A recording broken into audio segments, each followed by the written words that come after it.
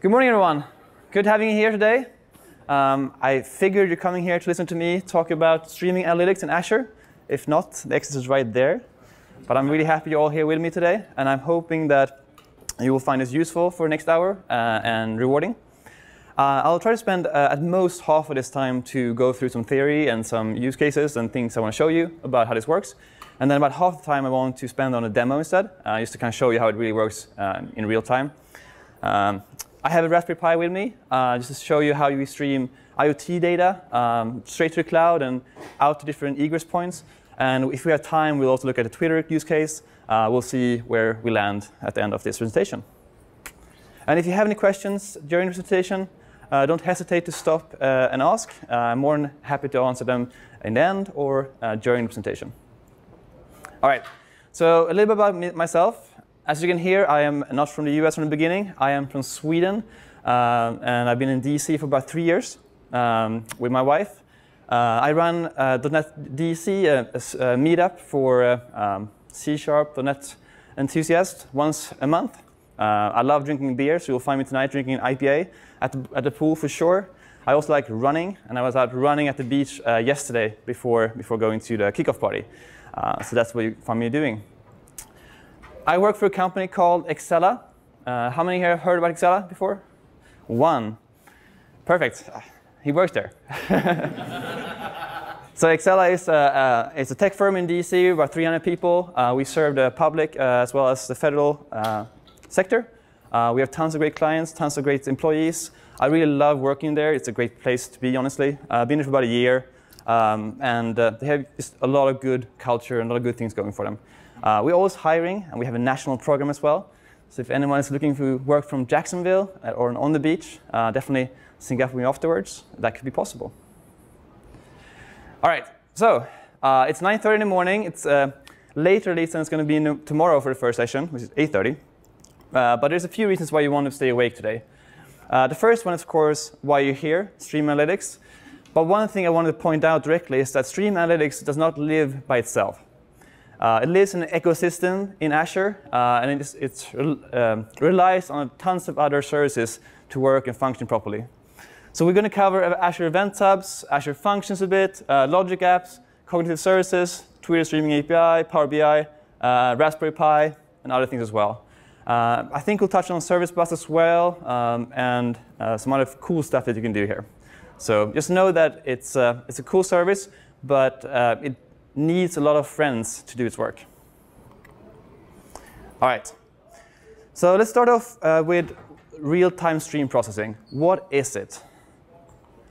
Well, stream processing is all around you today. I think you, you notice it and you think about it sometimes, and sometimes you don't think about it.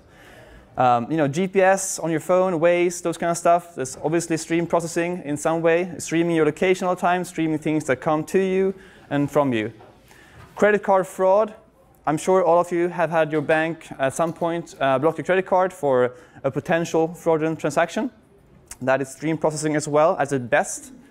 Um, tolls in DC is another good example where um, you drive through a toll station or drive through an automatic toll reader, and it will get your license plate number, all those things, send you a bill if you don't have an E-ZPass or something like that. I come from a very uh, regulated industry, uh, so my upbringing, or my upbringing, my, my start of my career is in medical devices and pharma. So I used to work for GE Healthcare in Sweden, where we produced um, stem cell research, protein for, um, for the pharma industry, those kind of things every factory you can see has tons of stream processing in there to control all the systems, the pressure valves, the pumps, all those things. Um, and you have to make sure that if a pressure spike is coming, you want to shut down the equipment before it's too late. Um, and there's a lot of correlations here between different systems to make sure you make that decision. Another good example of that is breweries. You all probably like beer. They also have tons of control systems, and they rely on stream processing to work.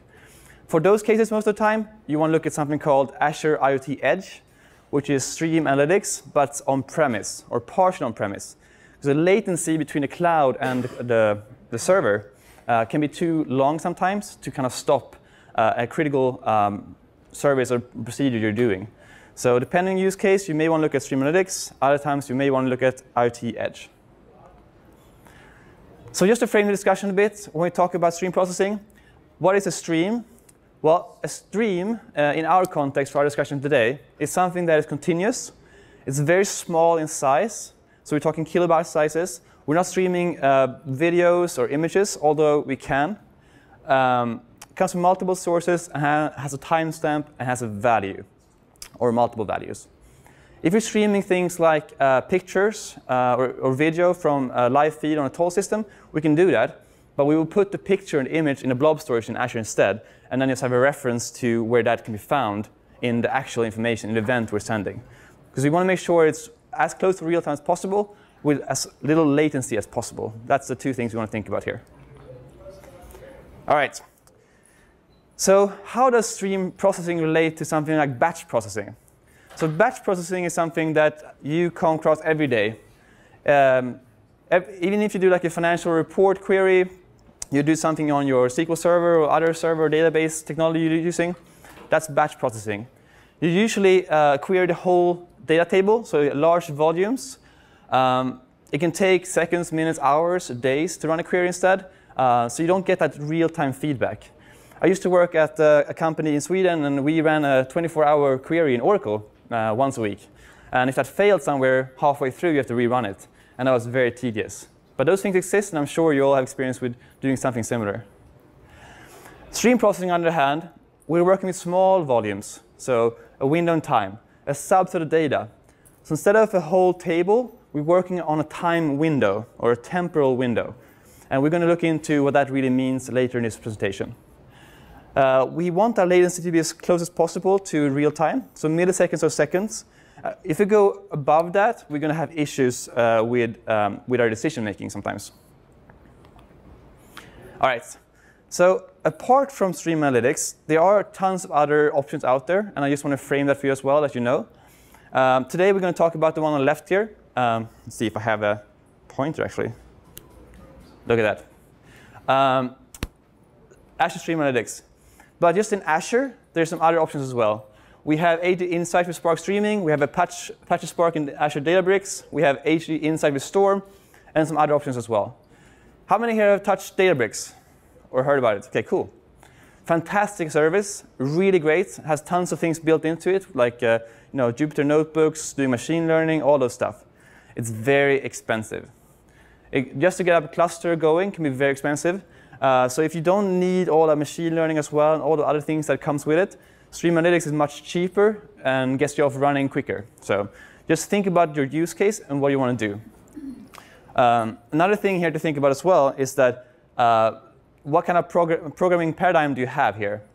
So Azure Stream Analytics uses a flavor of SQL um, to do its queries, while other frameworks may use uh, Java, Scala, Python, or something else.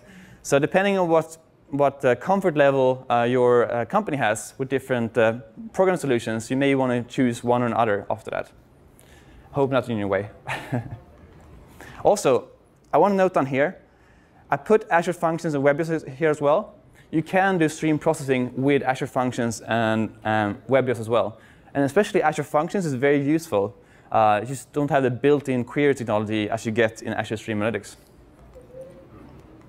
All right. So a little GIF here just to show you some concept here that we're going to talk about. So Stream Analytics, center part here, um, and events here are the green ones, small events. So in general, anything that comes into the job is called ingress. Anything that comes out from the job is egress. Egress are actions we want to do based on the query that we run. Um, there can be tons of different things there. Ingress can come from Raspberry Pi IoT devices. It can come from a live API. Uh, it can come from a Twitter feed. You name it. Tons of options out there. There's tons of websites offering uh, good real-time data sources as well for you. So you have lots of things to choose from. The cool thing with this job is that you can integrate and call uh, Azure Machine Learning uh, Studio service here straight from the job. So you can say that, OK, uh, for example, Twitter feed. Given that I have this tweet right now, um, the text right here, let's send it to a, a, machine learning function and get the sentiment out of there. Or let's get the keywords out of there. And you can do it straight from the service itself. It currently only supports Azure Machine Learning Service as an output, so you can't call an Azure function to do the same thing, uh, just because it doesn't support reliability. But if you want to uh, build your own custom machine learning model in something called like ML.NET, so open source library, uh, you will actually be able to call that straight from the service in November, I've heard, because uh, they will introduce something called Cloud Jobs, uh, which is uh, a way you can run C Sharp um, straight from the streaming analytics job as well. Another cool thing here is that you can define user-defined functions in JavaScript to do stuff that you want to do in a job. So if you want to convert dates, you want to convert um, other data in some format you want, you can write JavaScript and you can call that from SQL. So it's, it's kind of funny. You can call JavaScript on SQL. I still can't really wrap my head around that, but I think it's really cool. All right. Questions so far? Good pace? OK. Stop me otherwise. All right. So this is my favorite part. We're going to play Jeopardy. So ingress, so inputs to the streaming job. There's tons of them. There's four right now. Can anyone name all four of them? The second one is a free one. So which one is the first one? Azure Blob. Yep. And SQL Server. Event, event Hub. Event Hub. Yep. And this last one? IoT Hub. OK. So IoT and Event Hub are very similar in the use cases, and you can most time use both um, and as replaceable versions of it. But the difference between IoT Hub and Event Hub is that Event Hub only has one directional communication. It goes from the source to the job, while IoT Hub has a bidirectional communication. So if you want to, for example, change the frequency of data coming in to your job, uh, you can use an IoT Hub and uh, call back to your calling device and say, hey, it's going a little bit too fast right now. I don't need so much data. Kind of cool down a bit. That's good, for example, if you're monitoring wind strengths uh, and before a storm. And before a storm, you only care about once a minute updates because it's pretty calm and easy. When a storm picks up, you want to have better frequency, better resolution, so you may want to increase that. So IoT and Event Hub are used for real-time streams, so streams of real-time data. Blob storage on a SQL Server are used for reference data. And reference data are things that you can do to enrich your stream. So going back to the toll example, because I think that's just very applicable, if someone takes a picture of your license plate, that may not be enough information for them to send a bill to you, because they don't know where you live. So you can send your license plate number, uh, or you make of your car or whatever, through the event, hub, uh, event stream. But then, based on that, you can join on reference data to get your VIN number, to get your billing information, because that's data that is stagnant. That won't change. Uh, very slow-moving data. So any slow-moving data you have um, can you use for that. So for example, my uh, Raspberry Pi that I'm going to use later today, it has a serial number, very boring. I can't display that in, uh, you know, in graphs or anything like that because no one knows whose Raspberry Pi it is. But I can enrich that and join on a reference stream to get Alexander's Raspberry Pi. So you get tons of good examples of that.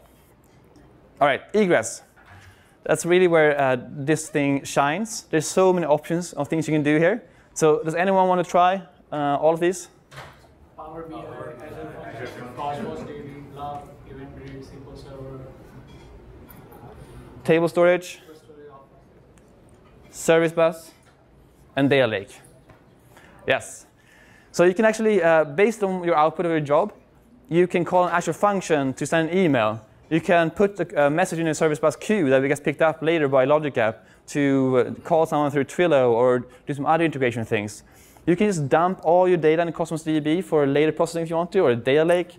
There's just so many options here. So when you start thinking about what you can do here, uh, you'll see all the possibilities here and how you can kind of keep funneling this into another streaming job or another uh, business process of your choosing.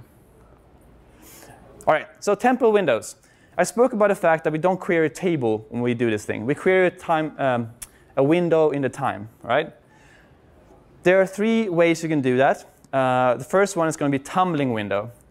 Um, so tumbling window means that we have equal length windows and they're non-overlapping. So we can say, for example, that our tumbling windows can be 10 seconds. So um, we, for example, if, it, if we have a Twitter feed, for example, um, and we want to know how many tweets um, we have for a certain time period, we can do a tumble window and say, OK, how many tweets did I have in the last 10 seconds? The thing with this is that if you do a uh, tumbling window, you only get an output every 10 seconds as well. You won't get an output quicker than that. So your, your buffer, your stream will be buffered 10 seconds, more or less. Useful, useful in many cases. My favorite is hopping windows. Hopping windows is also equal length, but they're overlapping. All right? So you can set 10 seconds, so average uh, number of, of tweets or the sentiment score for the last 10 seconds, but hop and give me a new window every five seconds. This will mean that you'll get a new window and you get output from the job every five seconds, depending on what you set your hop to. And you can see the SQL for it right here. Um, so that would be you group you group your data. Oh, sorry. You group your data by hopping window. You set the duration, so it's one minute here, and you set how quick it should hop here. A couple of things to note on hopping window is that one event, number three, for example, can be in multiple windows. So you get more of like an averaging effect here instead of having the strict kind of zigzaggy, I guess, you can get from a tumbling window. Make sense? So depending on the use case you have, you may choose one window over the other. You can try different things. The last one, there's actually one more, but I will skip that today. The last one I'm going to talk about today is sliding window. So sliding window is, uh, is a little bit different. They have equal length, but they're very random when they appear. So they're very, very useful when you don't have so much data, you have very stagnant data flow for a while, and then suddenly you get a peak, and you want very high resolution of the peak. So you can tell it to only output things if this condition is met. Uh, so if I have uh, more than 10 tweets about a certain topic, then start doing some windows. Otherwise, don't bother, because I don't really care about it. It's very useful when you have peaks and you really want to look at the peaks and how they, uh, what kind of resolution they have and things to do. All right. So those are temporal windows. Does everyone feel they can understand the difference between temporal windows and, and querying a table? So when you query your data again, you select your temporal window and you query based on that. That's kind of your frame of reference. That can be long, that can be short, depends on use case. Things to think about here. If your temporal window is long, that will mean that you keep all things in memory. That means that your job is expensive, right? Because you pay for CPU, memory, and uh, uh, something else, throughput, I think. And uh, depending on your length of your windows, your query complexity, those kind of stuff, you will incur more cost. So, but sometimes it's useful to do it. But just be cautious when you do this that you want to be cognizant of your costs as well. All right. So how does temporal SQL look like? It's a really cool world, a cool word, uh, temporal SQL. It's pretty boring. It looks exactly like normal SQL, more or less, with a few caveats here. Um, and that is the fact that you select star into an output from something, and you group by tumbling window. So normal SQL, you just select star from a table, or you select whatever you want from a table. You're good. You have to define where you're piping it to here. So that could be an Azure function, that could be a service topic, all kinds of stuff. You don't need to group it by tumbling window or a window. You can actually just uh, funnel your data straight through if you want to, and just project and select what you want from the stream. Uh, this is up to you, um, depending what you want to do. There are tons of built-in functions in Azure Stream Analytics uh, that you can do and use for your purpose. So um, lag, for example, is a super useful function. Lag allows you to compare your current event with an event previous in time of your choosing. So for example, the Raspberry Pi here, we're going to see that later, it, it looks at the distance uh, of an object from where it is right now, and you can use a lag function to detect if someone has come closer to the Raspberry Pi in the last 10 seconds or not. And someone, if someone has come closer or a motion has been detected, uh, you can output that to an Azure function. So it's kind of like a burglar alarm, like a motion sensor, right? Um, you can do it with one line change only. Like it's a lag function. Really cool stuff. Uh, it's first first is exactly what it looks like. It's just getting the first event in your time window. Um, it's last is getting the last event in your time window. So if you're looking at speeding cameras, you can get, OK, who speeded first in this time window, who speeded last, what is the, um, I guess, top speed. Another thing that's built in as of recently is anomaly detection. So uh, this one is powered by the open source library ML.NET. And it allows you to define your sensitivity.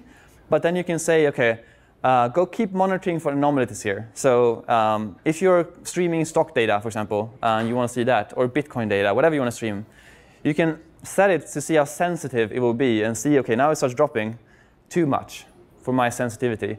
And I can output, like start selling stock or start um, buying Bitcoin, whatever you want to do here. But it's out-of-the-box machine learning model that you can just start using in SQL directly. So cool stuff. If you do a lot of uh, geospatial things, there's also things here to get distance between two data points, those kind of stuff here. Uh, a little bit more query intense, uh, but you can do it out of the box here. So I suggest you look at these uh, at some point, because I think they provide a lot of insight and information. All right.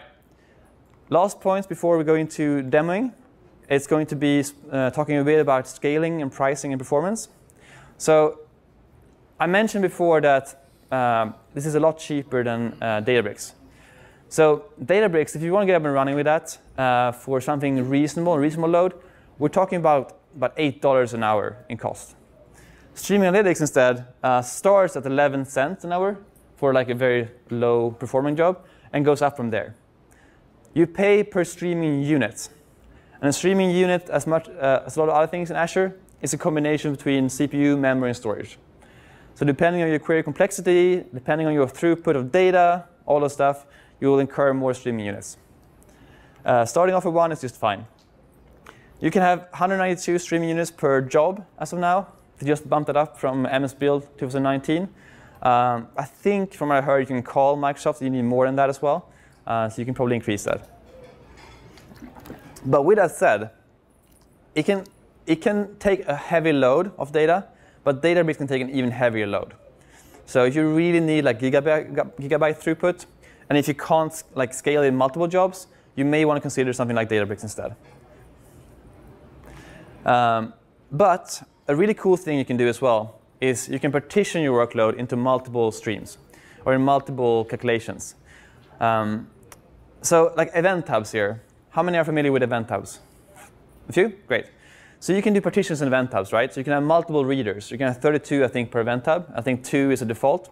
That means you can have two readers that listen to events at the same time and put them out to, to listeners. You can at the same time put uh, queries in parallel here. So you can have 32 partitions in your job as well. So for example, let's say I have, uh, I'm doing a query about um, IoT data, right?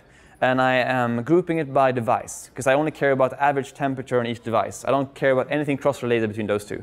We can then partition our query by device ID, just like this example here, and we can run them in parallel in different partitions. That's super useful if you want to keep your performance up and you don't want to slow things down. One thing to note though is your partitions is set when you create a job. You can't change that after you've done a job. If you want to change that, you have to create a new job. Very tedious. So think about uh, your uh, parallel I guess, strategy a bit before you endeavor too much in this. Um, creating a new job is not too bad, uh, but it's a little bit tedious to set up the inputs and outputs if you have a lot of those. So think about that. All right, 25 minutes in, and we're at the demo. It's good. Everyone awake still? One's awake? Good. So questions on that so far? Yes? Say we have the State of the Union address, right? And you want to run some real-time analytics for one hour. Okay. Right? So you create a model, create a job, and you're doing analytics on that one hour. That hour's passed.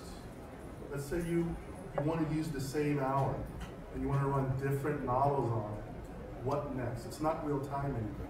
So is it storing the data for that hour? You can output into Cosmos DB if you want to, or SQL Server or Data Lake for later processing if you want to. So that's, yeah, you can do that for later as well, definitely. That's a good question. In many cases you want to, because you want to go back and maybe retrain a, a machine learning model or something else based on that data. So, all right. So we're going to jump into the first demo uh, that I think we'll spend some time on, uh, which is going to be a Raspberry Pi IoT data demo. So on stage here, I have my Raspberry Pi. And I can barely lift it up. Here you go. Uh, it's my travel companion. It's getting a bit beat up here, but I love it. So it has a couple sensors, very basic stuff. Temperature, humidity, light, sound, proximity sensors. It all feeds into the Raspberry Pi, and it's uh, running a very simple Python script um, and uh, pushing that to event hubs in Azure. The event hub is uh, just piping straight through to Azure Stream Analytics as an input. So this is our ingress. And we're joining our stream here on reference data in Azure Blob Storage, which provides me with the name of the, um, the device here. Based on the query result, we're going to output this straight to Power BI dashboard to see in real time what the temperature is in here. And right now it's pretty cold. so I think it'll be cold. Uh, and we'll also uh, look at uh, dumping the data um, into service bus uh, message queue uh, that will be picked up by Logic App and send me an email. And it will do that if someone go, comes closer to my Raspberry Pi, or if I have like a motion detection. So we'll look at how we can kind of create your own burglar alarm if you want to, right? So to get started here, I want to just show you this, and I'll um, actually let me do this first. Let's see. So the first thing I want to show you is this is the um, script that's running on the Raspberry Pi. See if I can zoom in. Probably not. OK, that's fine. It's in Python, nothing special. It's using open source packages to integrate with Azure. Um, but what it's doing, it's reading uh, using GrovePi, which is like a thing you put on the Raspberry Pi here for the firmware. And it's reading my sensor data. And it's looping over uh, a loop here. And every second, it's sending me data about my, um, my light level, my sound level, my temperature, humidity, all those stuff. And I'm just pushing it to Azure. Nothing special at all. If you plug in Raspberry Pi, we can start that uh, script and see how that's running.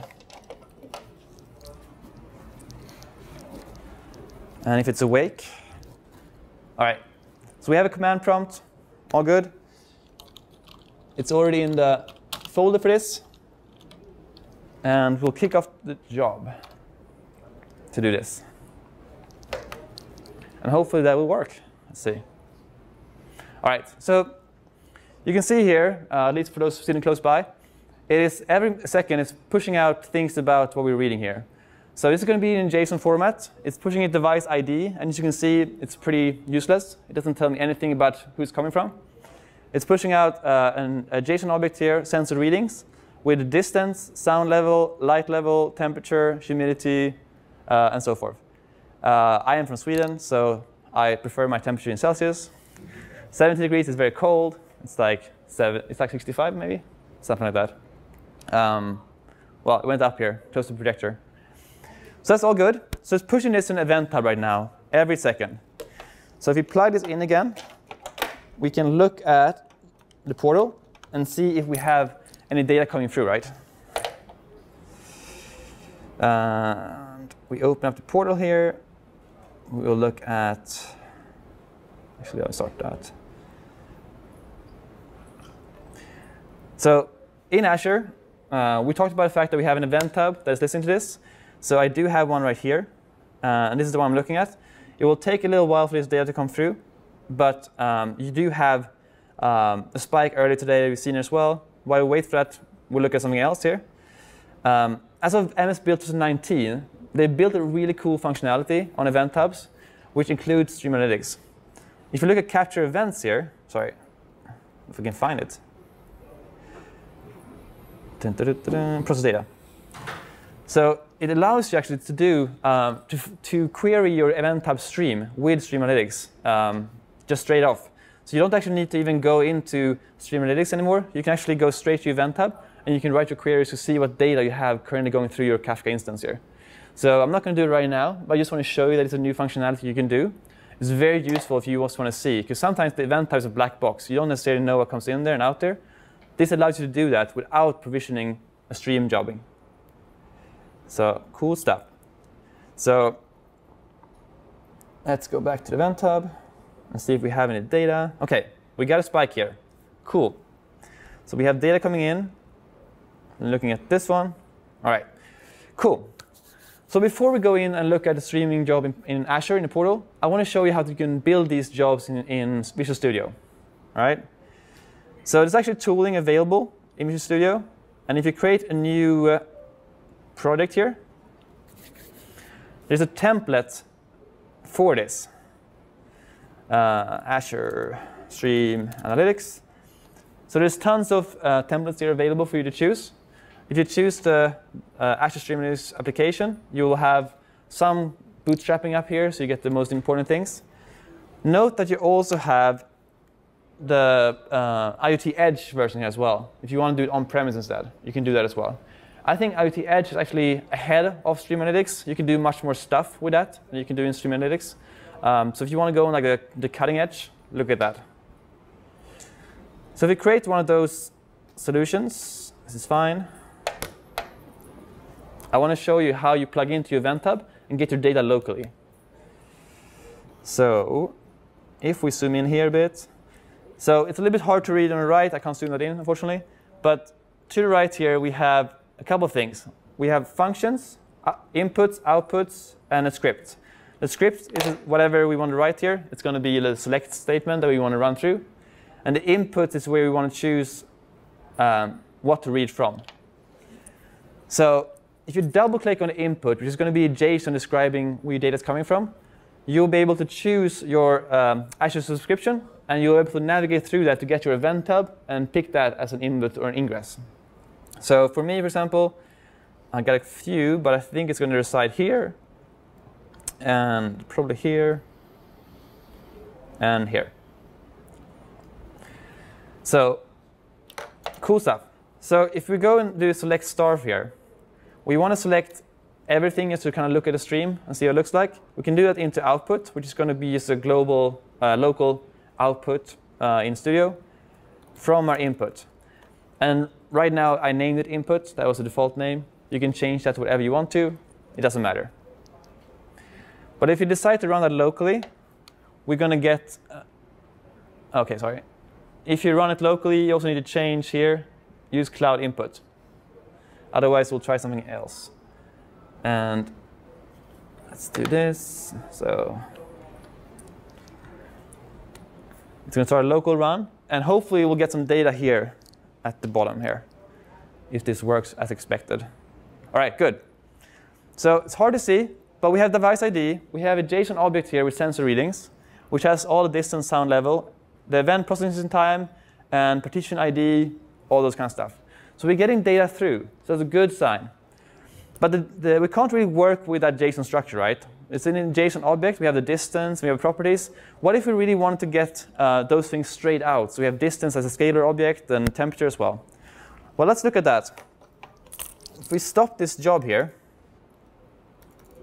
Control C, close that, we can actually decide what we want to do here. And just, and this is something I think is really cool here. Uh, just as you work with uh, C Sharp or anything else, you can actually navigate the properties with just dot. So we know that um, the object that's coming through is called sensor readings. And we get IntelliSense there as well, based on my stream input. So we say, OK, I want to look at distance. I want to look at uh, temperature, for example. Let's start with those. And maybe I want my device ID as well, actually. So device ID. OK? But I also want to know when the time of the event is. By default, uh, we will get a time from the stream, as you saw, in queue time. But there's two kinds of times you want to use here. Depending on your use case, you can choose one over the other. You have the application time, which is when the event was produced. So I could set that on my Raspberry Pi saying, this is the time I read this reading, and send it with me, and I will use that. Or I can have time of arrival, which is when it came to me in the Stream Analytics job. I will just use time of arrival right now, which is going to be system timestamp. Um, but depending on your application, you may have different things there. Because we have something called um, out-of-order policies, uh, which allows you to define how you want to handle out-of-order events. So let's say you have a, um, an application on your phone, for example, right? You go in a tunnel and it's streaming data. You can't stream data in a tunnel. It will black out. But you probably queue up the data, and when you get out of the tunnel, it will start sending to the cloud again. So how should a job handle that data that's not in order anymore? Should it wait? Should it do something? Well, that's up to you to decide. You can either buffer the stream for like 10 seconds or 20 seconds and wait for the data, or you can discard it and don't care about it. But you have to think of that for your stream, because depending on what you do, you have different use cases. All right. So let's try to run this and get the data out. And we'll see. All right. So we have projected the data now all the way down here. We have arrival time, we have device ID, we have distance, we have temperature. So just simple dot for the property, we get everything out very quickly. And we can keep going doing stuff here really well as well. So we can actually go ahead and, uh, let's see, we can actually start using average functions and other things as well here. So we can do, just like in SQL, we can use average. Turn off Slack, but that doesn't really matter apparently. Sorry for that. All right, so you can do average temperature, um, just like in normal SQL. Nothing special at all.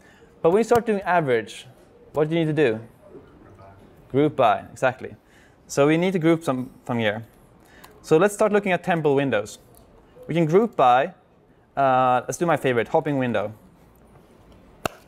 So what are the things you need to define in a hopping window? Right, tumbling window, that was just like a same window size and they were not overlapping.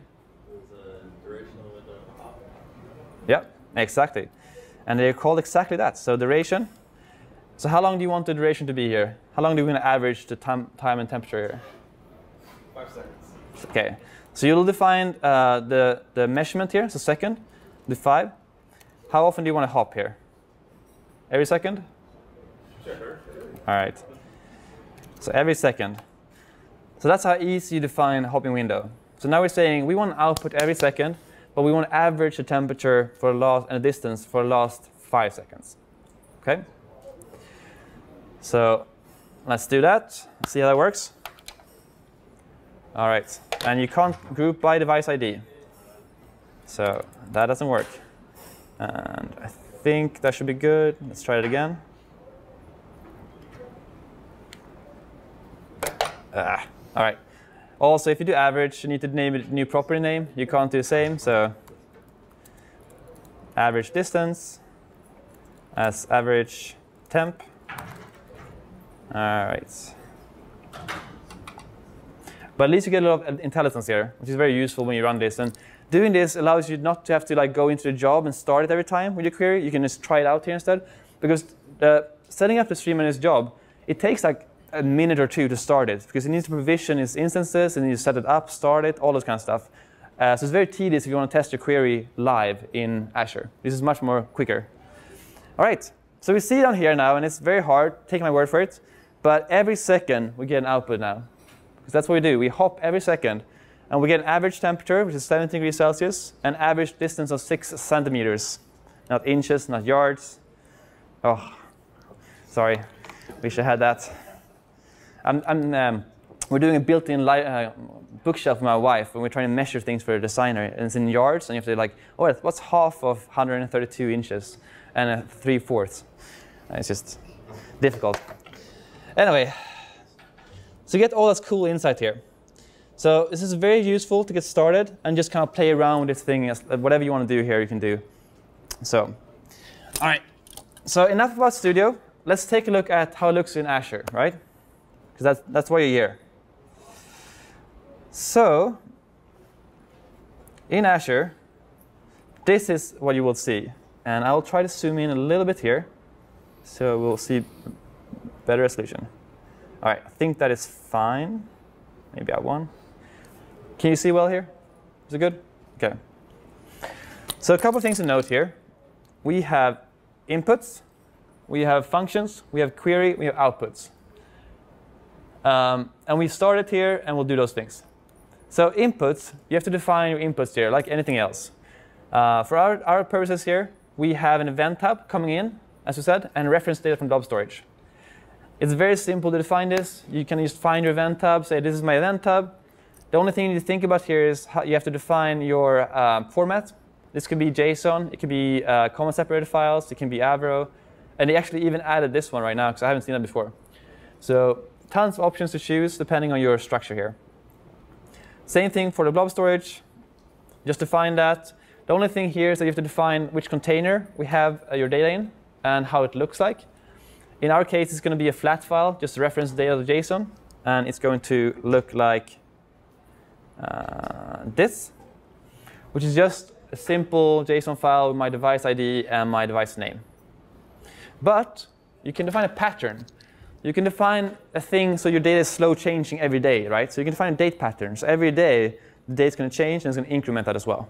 So those things are pretty useful if you have like slow changing data. So you maybe want an update on the uh, VIN numbers every day because you have car registration coming in or whatever, but you don't want to do it every day or every second or so. Outputs we will push things here to Power BI. Uh, and if you do Power BI, how many here use Power BI? Okay, a couple. Power BI is like Tableau um, or other like business intelligence tools. It's a Microsoft version. It's very affordable. It has something called a streaming API or a streaming data set. So when you do this, you log in as your Power BI user, and you define what your data set name should be, and you start like pushing data. And when you start pushing data, it's going to create a data set, data for you, and you can start querying that, putting tiles and dashboards on there, and all things like that.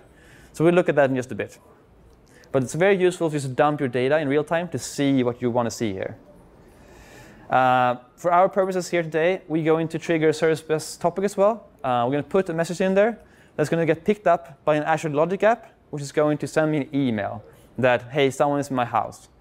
So if you haven't looked at Logic apps yet, look at Logic apps. Fantastic. It's like a glue application that takes different inputs and then outputs and then has logic in between. It's so useful. I used to have uh, like custom written C sharp code here to glue things together sometimes or read things from Twitter. I don't need that anymore. Logic app makes it just very easy to avoid those things. All right. I may have a function. OK, good. I have a function. Great. Wasn't sure. So I created a JavaScript function here um, just for like purposes of this demonstration here. Um, because I'm from Sweden, and in the US we have Fahrenheit, we may want to see things in Fahrenheit, right? So we can have a conversion function that just does that and just um, takes the Celsius input and outputs Fahrenheit for the dashboard. So you can do those kind of things. And this is a very simple example of what you can do. But just imagine those kind of stuff here. Like you want some conversion functions, uh, and you have no, you may not have um, ownership of your input or your event sources. So you can't change how they output things for you. All right. Cool. All right. Let me get let's start the job as I talk, because it will take a while. So let's look at the query before we look at the outputs here. So the query is similar to what we wrote before.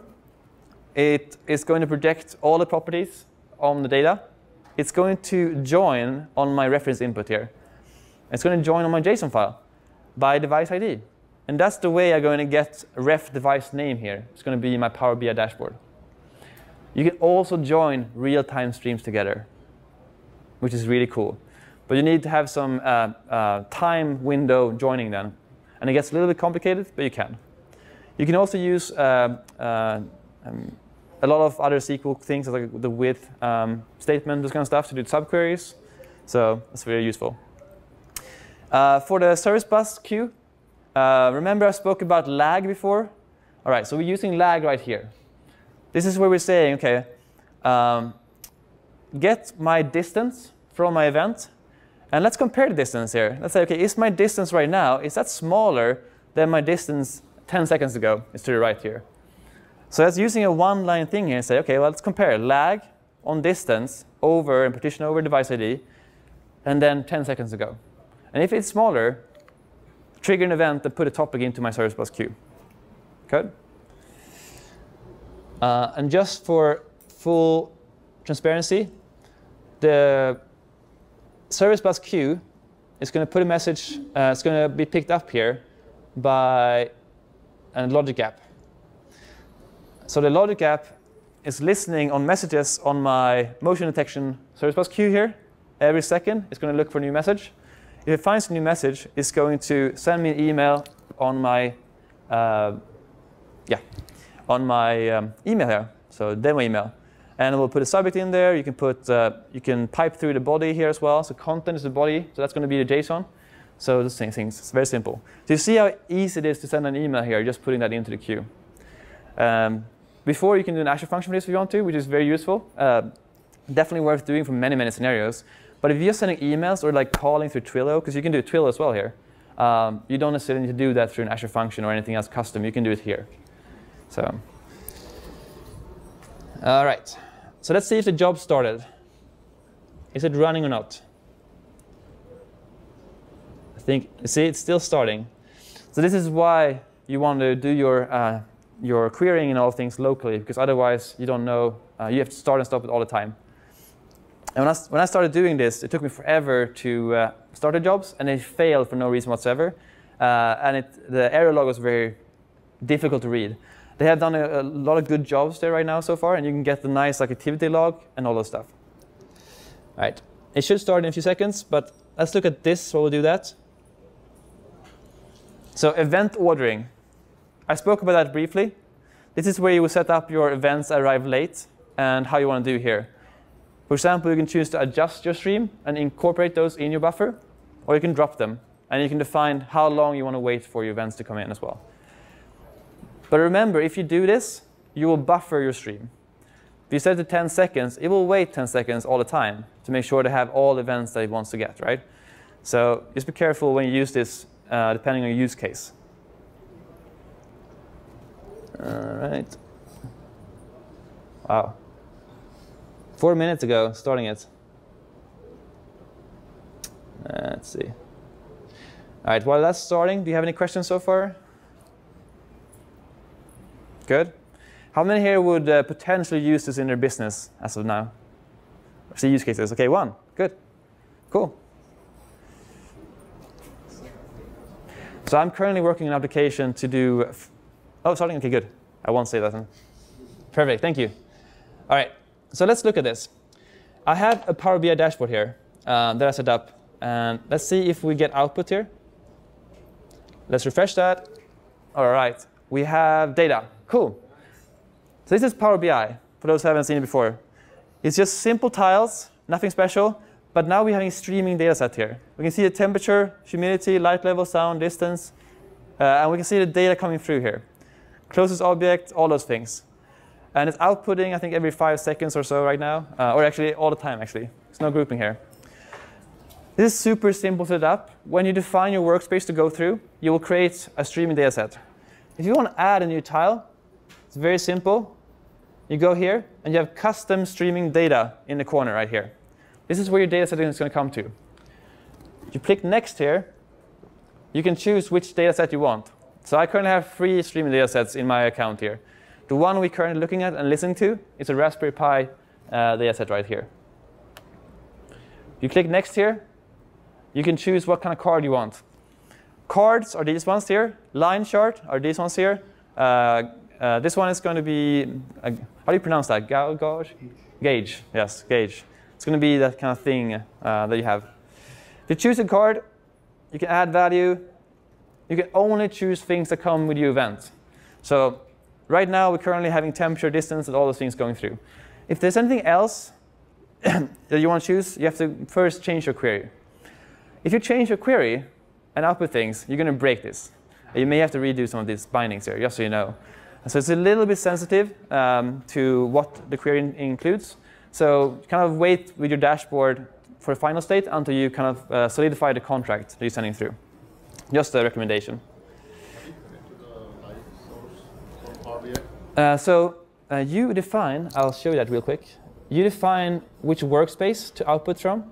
So outputs, see if I can do it when it's running. But So you see right here that I have said that push this to my streaming analytics workspace, call it Raspberry Pi dataset, and stream.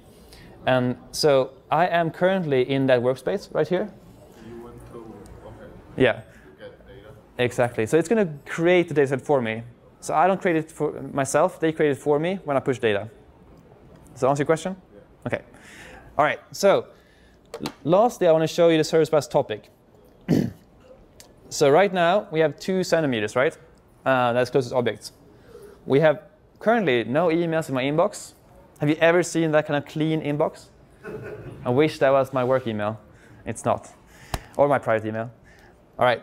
But what happens if we change the closest object here, or just change in general. Um, so we have two centimeters right here right now. Actually, let me, so here's the motion sensor. Let me turn it up and point it to someone. Three centimeters, 518 centimeters, the closest one. And if I turn it down again, you have a difference here. So you see that you get this real-time feedback here when I turn things over. If I put that down, you can see that my mailbox is getting swamped now. Because every time I change it around, we had a motion change as well. So you can make it smarter and like wait a little bit because someone's already been there. This is very rudimentary and stupid. But you see how that uh, service bus topic got put in a queue, Logic App picked it up, I piped it through to my Outlook, and if we look at this, we're going to get, uh, oh, it's hard to read. Well, we're going to get the, the JSON object here that we want to put out. So 3 centimeters was the closest one here. That was in the end. 31 centimeters right there, those things. So you can pipe through things from the event here as well. And you can build things you want to do here very useful, very easy. Cool. All right. So I have another demo, but I think I'll stop there because it's uh, nine minutes left, and I don't want to take the other speaker's time. So I'll have questions instead. Yeah. What about in this particular case, like aggregation? Like if I had more than more than just the one uh, device in here, and I wanted to see maybe the average temperature over. Yeah, you can do that for sure. Because you, you, all the data that comes in, again, it's going to be a temporal window, no matter which device is coming from. So all the devices will go to the same input and same ingress, and you can just uh, query average temperature across all devices. You don't need to put your group by device ID or partition by device ID in that case. So yep, definitely possible. Is there a data limitation? Like, if, what if you have like millions, millions of records? So good question. Streaming units. Uh, there's no, I think, necessarily data limitation, but you're going to hit the streaming units limits at some point. Because remember, that's CPU, memory, and storage. And depending how long your query is, how much data you have in your time window, it's going to take up memory. So that will increase the streaming units you have. And 192 is the limit, so at some point you'll hit that. Can you change the length of temporal window depending on the incoming traffic? Ooh, good question.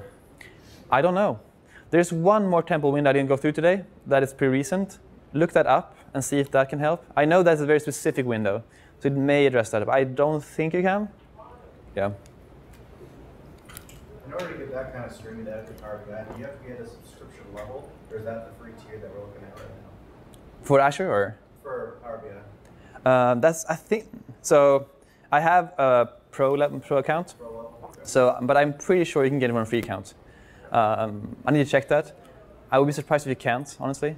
Um, yeah. But usually Power BI Pro is like ten dollars a month or something, so it's reasonable. But of course, I definitely try it out. And I'm happy to help you afterwards if you want to set it up. Uh, other questions? All right. All right. In that case, thank you all so much for coming. I enjoyed having you here. You guys.